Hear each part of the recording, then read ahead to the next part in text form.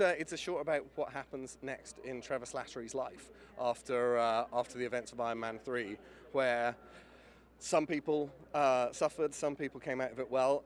It turns out that Trevor came out of it the best of all because he got the one thing he always wanted, which was celebrity. I think the short in many ways kind of engages with the fans anyway. Um, these these one shots do that because uh, you have to seek them out rather than going to the cinema to find them. I hope the fans like it, and I hope you know we're giving them stuff that surprises them and delights them.